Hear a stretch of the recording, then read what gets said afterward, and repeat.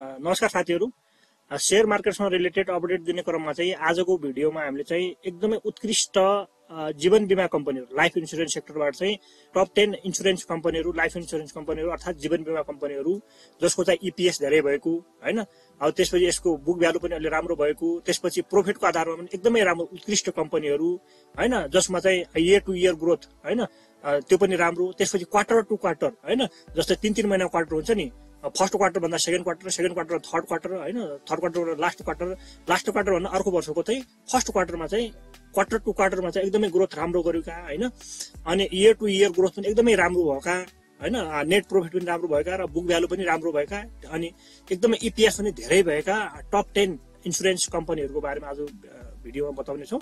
भिडियोलाई चाहिँ स्किप नगरेर अन्तिमसम्म हेरिदिनु होला जस्तो हामी चाहिँ सुरुमा हामी हेर्नेछौँ इपिएसको आधारमा है। अब इपिएसको आधारमा एक नम्बरमा आउँछ एसियनएलआई है।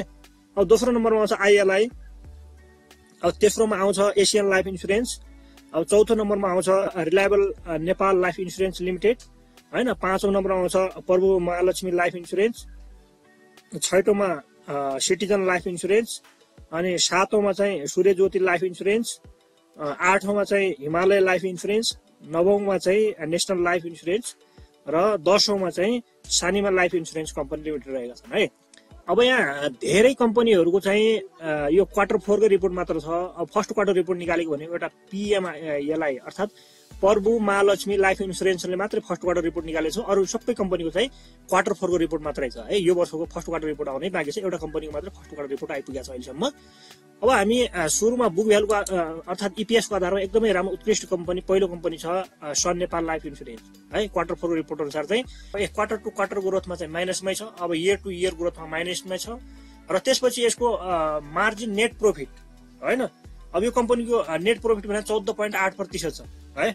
यसको पेड अफ क्यापिटल अहिले कति छ भनेपछि तिन अर्ब छ्यानब्बे करोड फोर लाख चाहिँ यसको पेड अफ क्यापिटल रहेको छ भने यसले रिजर्भमा कति राखेको छ भनेपछि दुई अर्ब चौध करोड अठार लाख त्रिहत्तर हजार चाहिँ यसले रिजर्भमा राखेको छ है?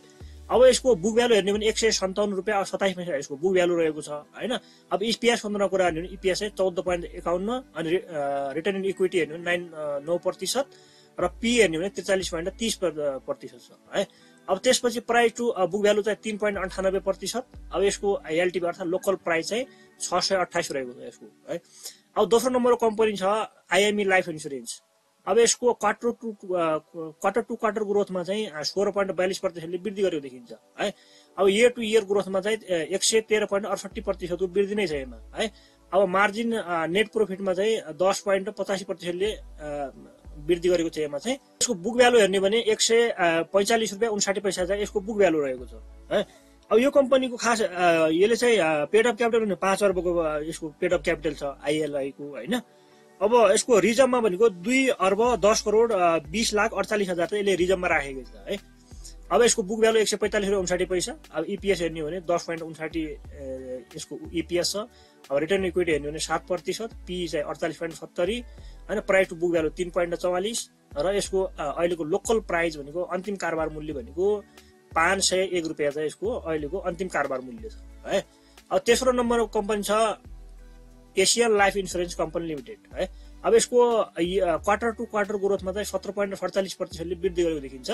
अब इयर टु इयर ग्रोथमा चाहिँ छत्तिस पोइन्ट एकानब्बे प्रतिशतको वृद्धि नै छ यसमा पनि होइन? अब नेट प्रफिट चाहिँ चार पोइन्ट आठ प्रतिशतको वृद्धि छ यसमा है?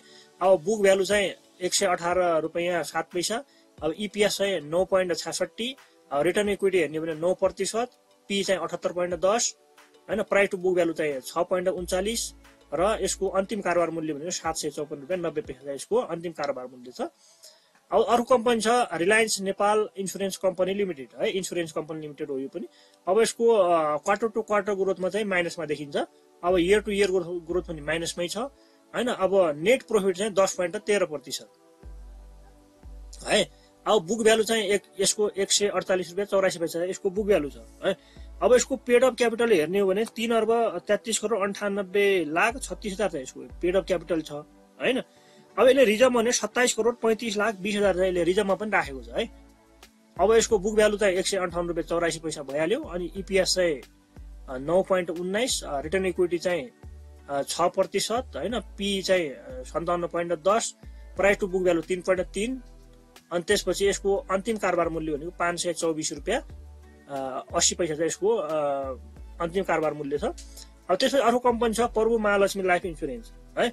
अब यसको क्वार्टर टु क्वार्टर ग्रोथमा चाहिँ पैँतिस पोइन्ट नौ प्रतिशतको वृद्धि छ होइन? इयर टु इयर ग्रोथमा चाहिँ पच्चिस पोइन्ट चा चौहत्तर प्रतिशतको वृद्धि नै छ यसमा होइन? यसको नेट प्रफिट चाहिँ आठ पोइन्ट पचासी प्रतिशत छ होइन? बुक भ्यालु चाहिँ यसको एक सय उन्नाइस रुपियाँ चौतिस पैसा।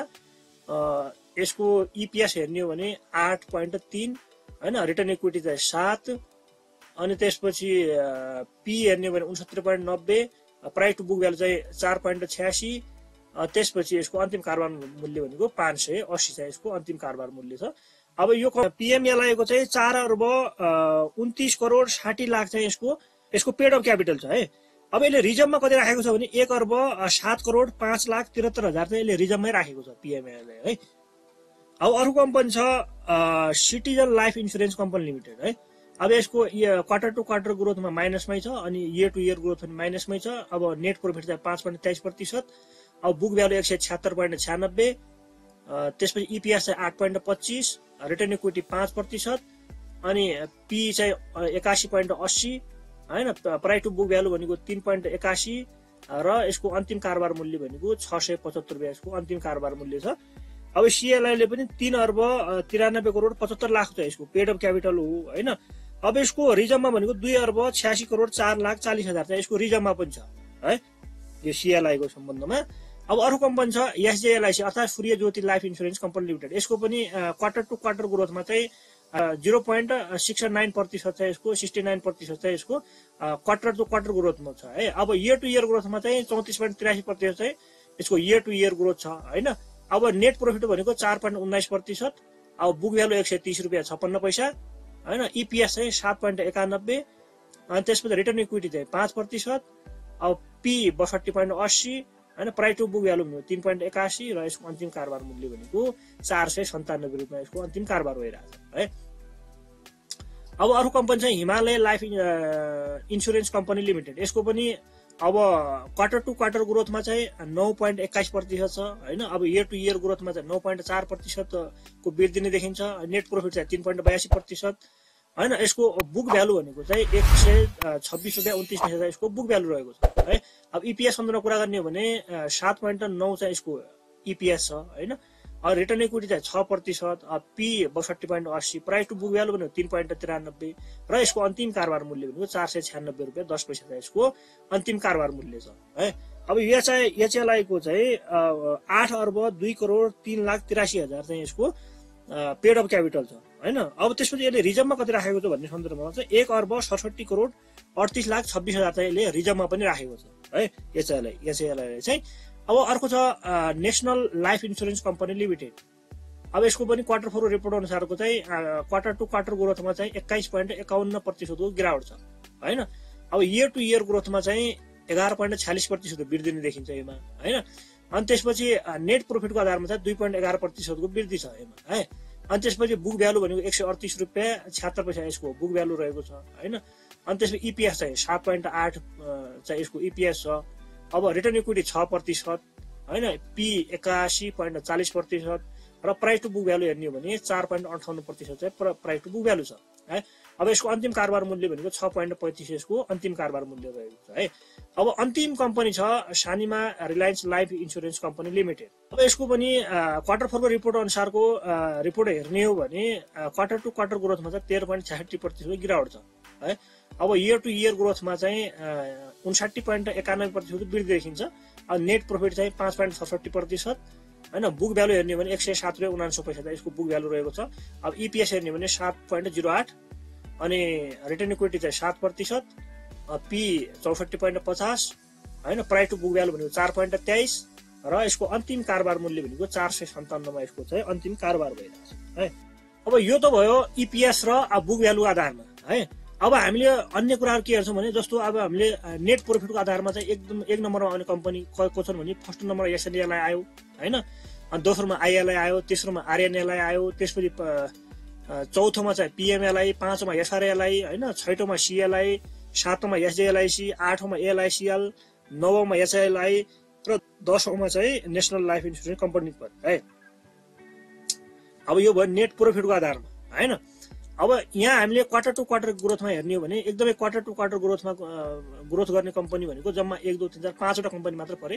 त्यसपछि कम्पनीहरू सबै माइनसमा छन् होइन? अब क्वार्टर टु क्वार्टर ग्रोथमा चाहिँ पाँचौँ नम्बर पाँचवटा कम्पनी मात्रै पऱ्यो पाँचवटा कम्पनी को को पऱ्यो? पहिलो नम्बरमा छ पिएमएलआई पऱ्यो दोस्रोमा एलआइसिएल तेस्रोमा आइएलआई चौथोमा एचएलआई र पाँचौँमा चाहिँ एसजिएलआइसी पऱ्यो है? क्वार्टर टु क्वार्टर ग्रोथ गर्नेमा होइन? अब इयर टु इयर ग्रोथको सन्दर्भमा कुरा गर्ने हो भने फर्स्ट नम्बरमा अब आइएलआई पर्छ है? दोस्रो नम्बरमा एलआइसिएन पऱ्यो तेस्रोमा एसआरएलआई पऱ्यो होइन? चौथो नम्बरमा एलआइसिएल पाँचौँमा एसएलआइसी छैटौँमा पिएमएलआई सातौँमा एनएल एनएलआइसिएल भयो अनि सातौँमा चाहिँ एचएलआई पऱ्यो यति कम्पनीहरू चाहिँ इयर टु इयर ग्रोथमा पऱ्यो होइन? अब बुक भ्यालुको सन्दर्भमा कुरा गर्ने भने बुक भ्यालुमा सबैभन्दा अगाडि भनेको एसआरएलआई पऱ्यो है त्यसपछि एएलआइसिएल पऱ्यो त्यसपछि पिएमएलआई त्यसपछि एचएलआई त्यसपछि एनएलआइसी होइन त्यसपछि एसजिएलआइसी त्यसपछि एनएलआइसिएल त्यसपछि आइएलआई पऱ्यो त्यसपछि एसएनएलआई पऱ्यो त्यसपछि आरएनएलआई पऱ्यो यो चाहिँ बुक भ्यालुको आधारमा है अब इपिएसको आधारमा मैले यो भन्दाखेरि भनेको थिएँ ठ्याक्क यही हो होइन अब एक नम्बरमा एसएनएलआई पऱ्यो आइएलआई एलआइसिएल आरएनएलआई पिएमएलआई सिएलआई एसएलआइसी एचएलआई एनएलआइसिएल र एसआरएलआई चाहिँ अन्तिममा छ है अब रिटर्न इक्विटीको आधारमा हेर्ने हो भने एक नम्बरमा पढ्ने भनेको एसएनएलआई है दोस्रो नम्बरमा एलआइसिएल तेस्रोमा आइएलआई चौथोमा पिएमएलआई छैटौँमा एसआरएलआई सातौँमा आरएनएलआई आठौँमा एचएलआई एनएलआइसिएल सिएलआई र एसएलआइसी चाहिँ इपिएसको आधार यो के अरे रिटर्न इक्विटीको आधारमा पऱ्यो यिनीहरू है। अब हामीले हेर्ने हो भने पीको आधारमा हेर्ने हो भने सबभन्दा अगाडि भने एलआइसिएन आउँछ है। त्यसपछि एनएलआइसी आयो त्यसपछि सिएल आयो त्यसपछि एनएलआइसिएल त्यसपछि एलआइसिएल पिएमएलआई एस आरएलआई एचएलआई एसएलआइसी र आरएनएलआई चाहिँ यो चाहिँ हाम्रो पीको आधारमा पऱ्यो होइन? अब प्राइस टु बुक भ्यालुको आधारमा हेर्ने भने एकदमै अगाडि भनेको को को पढ्यो भनेपछि आरएनएलआई है? एकदम कम मूल्यको चाहिँ कम्पनी अलिकति सस्तो खालको कम्पनी चाहिँ आरएनएलआई पऱ्यो। त्यसपछि आइएलआई त्यसपछि सिएलआई लगायत कम्पनीहरू चाहिँ यिनीहरू प्राइस टु बुक भ्यालु आधारमा पऱ्यो है। कमबाट हेर्ने हो भने अब हाईबाट हेर्ने हो भने हाईबाट त फर्स्टमा एलआइसिएन पर्छ है। अनि त्यसपछि हामीले चाहिँ अब सस्तोबाट एकदमै सस्तो कम्पनी हेर्ने हो होइन? एलटिपीको आधारमा अहिले बजार मूल्यको आधारमा सस्तो कम्पनी हेर्ने भने अहिलेको चाहिँ एसआरएलआई चाहिँ राम्रो परेको छ बनाइदिनुमा पऱ्यो। अब यसको क्वार्टर टु क्वार्टर ग्रोथमा माइनसमा छ। इयर इयर टु इयर ग्रोथमा चाहिँ उन्साठी पोइन्ट एकाउन्न एकानब्बे प्रतिशतको चाहिँ ग्रोथ रेट देखिन्छ यसमा है? अब नेट प्रफिट भइहाल्यो अनि बुक भ्यालु एक सय सात रुपियाँ रहेछ इपिएस चाहिँ सात रुपियाँ छ होइन? सात पोइन्ट आठ चाहिँ इपिएस छ रिटर्न इक्विटी सात प्रतिशत छ यसको। एलटिपीको आधारमा है त्यसपछि दोस्रोमा एलटिपीको आधारमा हेर्ने भने एचएलआई दोस्रोमा एसडिएलआई चाहिँ तेस्रो आइएलआई चौथो आरएनएलआई पाँचौँ पिएलआई छैटौँ एसएनएलआई सातौँ एएलआइसिएल एनएलआइसिएल चाहिँ आठौँ होइन एनएलआइसिएल आठौँ अनि सिएलआई नवौँ र एलआइसिएल चाहिँ दसौँमा पऱ्यो यी भने है अब अलिक महँगोबाट हेर्ने हो हामीले महँगोबाट हेर्ने भने फर्स्ट नम्बर सबभन्दा महँगो भनेको एलआइसिएन पऱ्यो है एलआइसिएनको अहिलेको इपिएस कति चार पोइन्ट सतहत्तर छ होइन अनि त्यसपछि रिटर्न इक्विटी चार प्रतिशत अब यसको बुक भ्यालु हेर्नु भने एक सय एकात्तर रुपियाँ छ। है? अब त्यसपछि दोस्रो नम्बरको अलिकति त्योभन्दा अलिक सस्तो भने एनएल एनएलआइसी पर्यो। होइन यसको आठ सय पैँसठी रुपियाँ चाहिँ यसको बजार मूल्य छ। अब यसको इपिएस हेर्नु भने छ पोइन्ट छब्बिस होइन? अनि अर्को कम्पनी छ ए एएलआइसिएल अलिकति सस्तो त्योभन्दा सात सय चौपन्न रुपियाँ। त्यसपछि अर्को कम्पनी सिएलआई चाहिँ छ सय पचहत्तर होइन? अर्को कम्पनी छ एनएलआइसिएल चाहिँ छ सय पैँतिस अर्को एसएनएलआई चाहिँ छ सय अठाइस पिएमएलाई चाहिँ पाँच सय अन्ठाउन्न अर्को आर्यनएलाई चाहिँ पाँच सय चौबिस आइएलआई चाहिँ पाँच सय एक र एसएलआइसी चाहिँ चार सय सन्तानब्बे रुपियाँ है?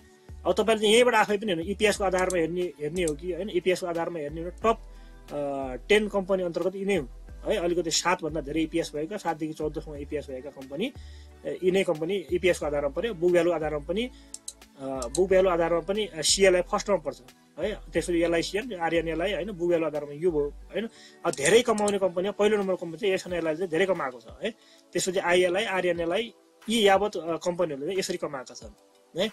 यति नै थियो आजको अपडेट भिडियो कस्तो लाग्यो जस्तो लाग्यो त्यस्तै प्रतिक्रिया दिन नबिर्सिनु होला यस्तै किसिमको अपडेट चाहनुहुन्छ भने च्यानललाई चाहिँ सब्सक्राइब राख्नु होला भिडियो मन परेको छ भने एक लाइक अवश्य गरिदिनु होला भिडियो अन्तिमसम्म हेरिदिएकोमा धेरै धेरै धन्यवाद।